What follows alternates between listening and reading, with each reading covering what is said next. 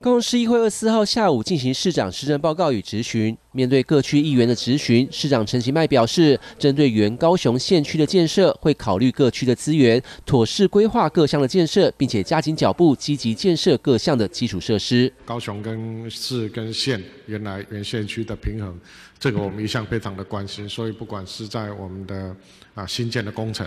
啊，还有像也运动中心。关怀据点等等，我们都会考虑到在啊这个原县区的一些资源过去比较不足，所以啊我们也会啊多。啊，在啊这些沿线区的这部分来加快我们公共建设、基础建设的脚步。而面对少子化的议题，市长陈其迈则是强调，由于少子化问题涵盖面向广泛，市府各局处秉持严肃的态度，积极面对，包含推动社宅、生育补助、公托等各项的政策，以减轻父母生养子女的经济负担。啊，这个是每一个局处大家的责任，哈，所以包括都发局的社宅，啊，社会局，包括公托。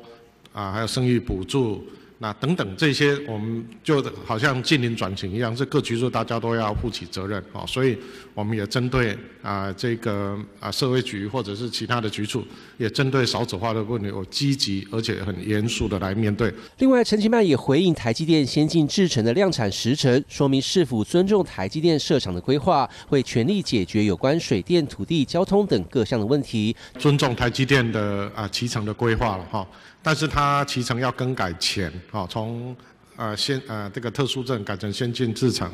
所有的不管是水电，还有土地、交通、安家等等这个部分，我们市政都啊在事先